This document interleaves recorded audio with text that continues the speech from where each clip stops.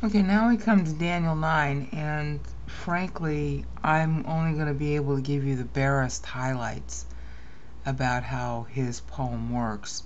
You're going to have to look at the document that's in the video description. It's extremely long.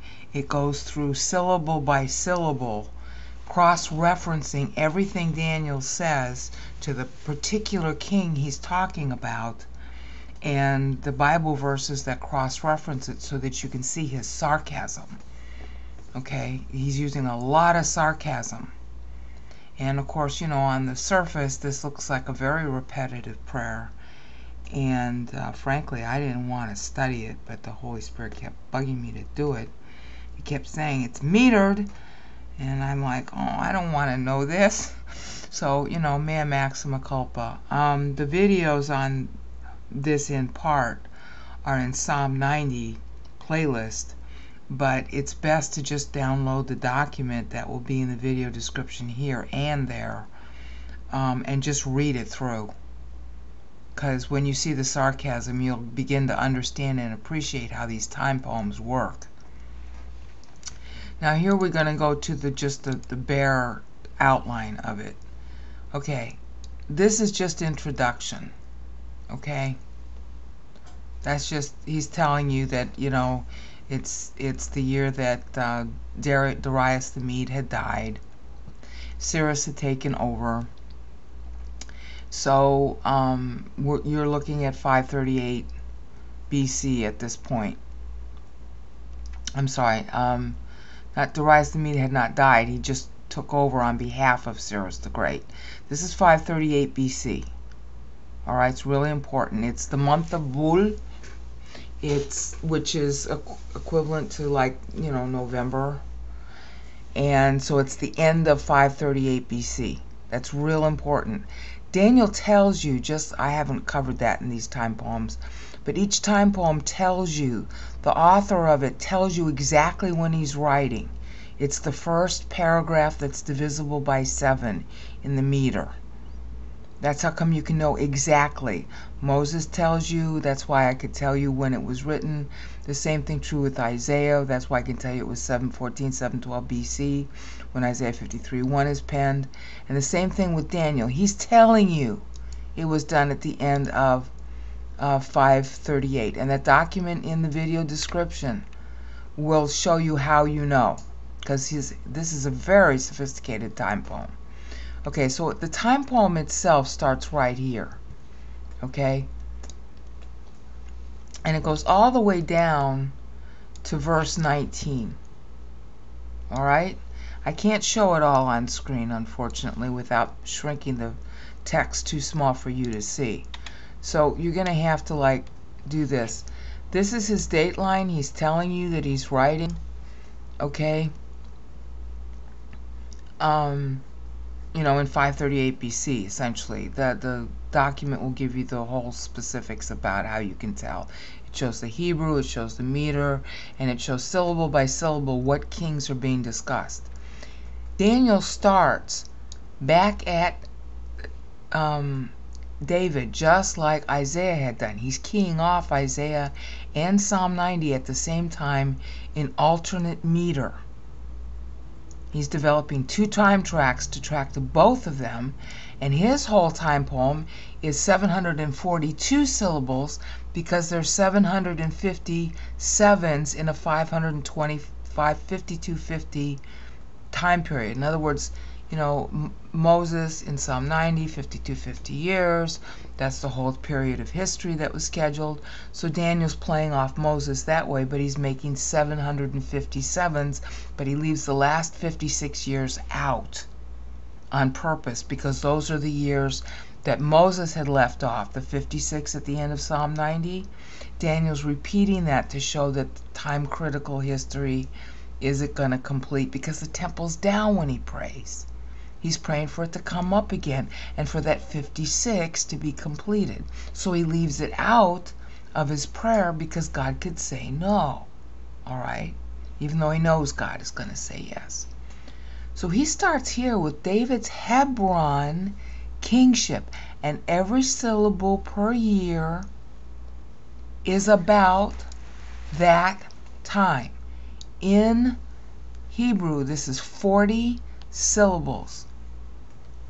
Da um, David is the only king in this roster of kings that's taking, going all the way from David to the end. This is the only verse, the only segment that is specific to one king. Now, what's really important about that is when you start bundling kings together, it means that none of them are faithful on their own. Okay? I, mean, it's really sophisticated. It's going to be really hard for me to, to get very specific about the English. You really need to read the document and see how he does this. Okay? It's very important. But this part I wanted to, to explain.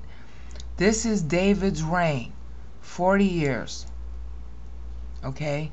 From the time that he becomes king in Hebron to the time he retires, not dies, retires at age 70. Solomon takes over, and the last seven years of David's life were spent on the temple, which is told to you in what a book that's contemporary to Daniel by Jeremiah called Chronicles. Jeremiah wrote Chronicles, and he's making a commentary on the book of Kings that became part of Scripture in Daniel, uh, David's last seven years after he retired from kingship are recorded in 1 Chronicles 22 and following.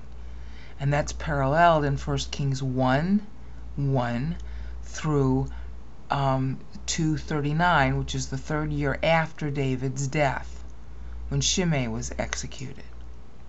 Okay, so David, that was what happened to David, and Daniel's going to track every single king, syllable by year in the Hebrew. And that's why this text seems so repetitive. We didn't obey, we didn't obey, we didn't obey. But the individual words slightly change to suit the particular king in question. And, and Daniel changes his meter based on when the king went good or when he turned bad and I cross-referenced each syllable to the Bible verses in question so you could follow what Daniel's saying. It, the satire is unbelievable. And that's really important because Paul's going to ape Daniel's style. He's going through the whole chronology of the kings just like Isaiah had done, except when Daniel's doing it, he's doing it through the past. Isaiah's doing it through the future. Daniel's doing it through a past because what is he doing? He's setting up the indictment. This is the basis for his petition right here. We're wrong. We have not sought your favor. He's full circle at his own captivity at this point. He's operating on two time tracks, one based on Isaiah, one based on the raw history of his own captivity. He starts saying, Hi, I'm praying to you in the 70th year of my captivity and then he comes full circle to his own captivity here. This is his summation of the case because he's a lawyer. All right. And then this is this is all the legal basis for the petition. All right, through here. And then he's giving his petition through verse 19. Okay, this is where he ends it. At this point, at that point, it's 742 syllables in the Hebrew. It took me months to parse this out. Okay, he's going forward in time to the millennium just like Moses did. And he's basically using a forward millennial accounting, basically saying that, you know, you promised us all those years that Isaiah put in ellipsis with the 364 to Messiah's death and then the millennium afterwards, and I'm claiming the promise. That's what he's doing in verses 15 through 19. He's turning his face to the future. And then he leaves the last 56 syllables out because it ends at 742 syllables instead of 750. See, because there's sevens. 742 sevens, 757s equals 5250 years.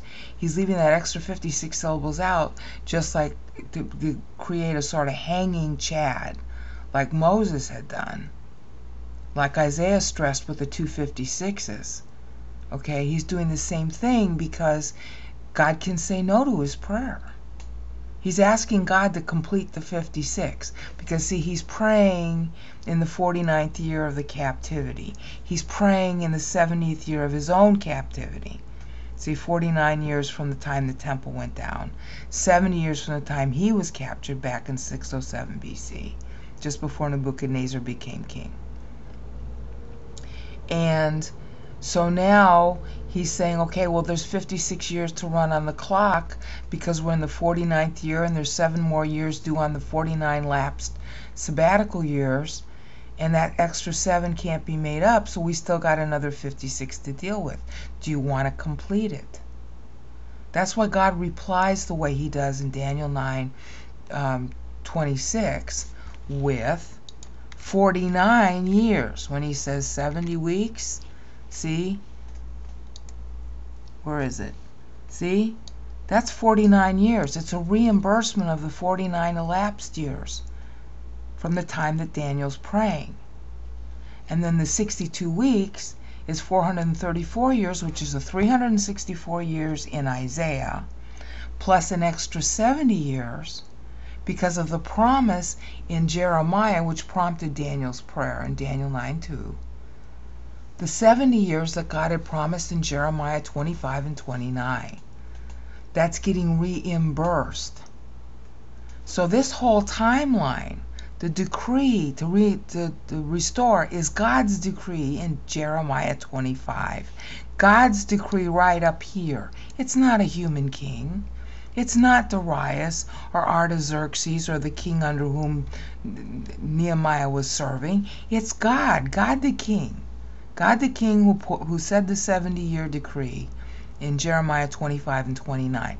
God the king who just issues the decree right here and says, you don't know from the issuing of the decree. Whose decree? God's decree. Where did he put the decree? Well, right here and prior, 70 years prior, in Jeremiah 25 and 29. So he's saying, okay, when the 70 years are up, which is going to be 516 BC from 586, you count you count the 70 from 586. Then there's another 70 years, and this 7 weeks begins 140 years after the 586. And then the 62 weeks takes you to the completion of canon Malachi. Okay? And then, you know, also takes you to the birth of Christ, the birth and the death of Christ. But it's in the 62nd week that Christ has to die. But he doesn't die the 62nd week, he dies the 61st week.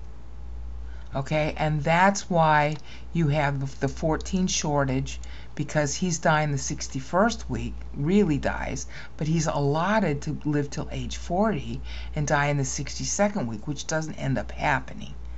Then in between this verse and this verse, remember I said 1050?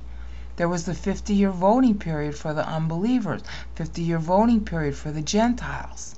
There was 50 years between this verse and this verse that were supposed to transpire the last 57 years of history, which is composed of the 54 years that are owed from Abraham maturing too early in 2046 from Adam versus the first 2100 that were owed to Goyim. And then the extra three and a half years, that's our time overlap that I'll get back to show you, that resolves our BC AD problem where we have the same overlap because Messiah ends up having to be born three years early because David died three years before the temple was constructed. The temple construction began late, so that's how 54 turns into 57, which is one week plus the unmentioned, because it doesn't belong to Israel, the unmentioned 50 years between this verse and this verse. That was the harvesting the Gentiles. It was represented in the law by Pentecost, and it was represented in the law by Jubilee. It was the last 50 years of history. Okay, and the last seven is tacked onto it and really is the very last seven years that plays before Christ returns. That was the timeline Israel knew. That was the timeline we should know, but don't because we don't do our math right we we think that it's a human king, okay, that's talking that that some human king had to issue a decree. We're forgetting that God just was talking as the king here. And we're using lunar years to do all this. So we miss the hanging chad of the extra seven, and then we don't realize that Christ died seven years earlier than scheduled. Because we also screw up Daniel's, uh, David's age at death. So you see, all this fits together, and Dave and Daniel knows it. So that's why when he gets to this end here, his prayer is 742 syllables at the end of verse 19 and he has he has covered all of history all the way to the millennium because he does millennial year accounting just like Moses did. Okay, and he's playing back from Isaiah because Isaiah had picked up at David. So at David's Hebron kingship, skipping over, you know, the first 30 years, is where Daniel picks up and he covers the whole 40 years of the kingship. Okay? And then he goes king by year by year all the way through and he finishes off the kings there. Actually, kind of finishes them off here, but there's a sort of extra, you know, internal, what do you want to call it, transition phrase there. And then he begins his petition, and all of this is future to the millennium accounting. He's using that as the basis for his petition that, Hi, God, you promised us extra time, and we don't deserve it, but you do. It's your promise to Messiah. Please rebuild the temple so Messiah can come on time. That's basically what he's doing with this meter.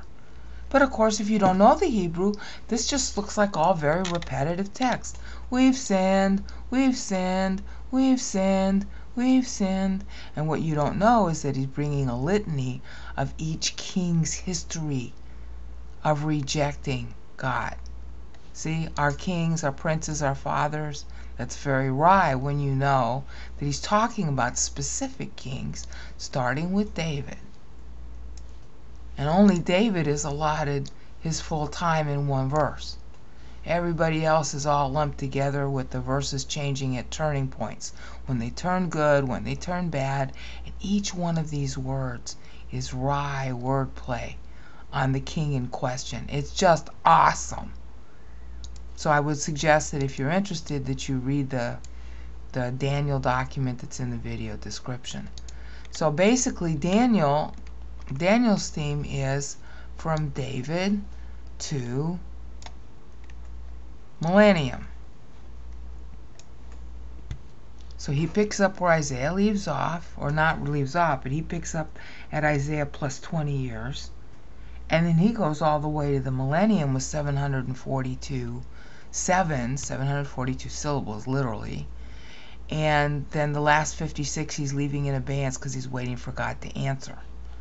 So now you know what the 56 is in Paul, and actually between Daniel and Paul is Mary. And that's where we'll pick up in the next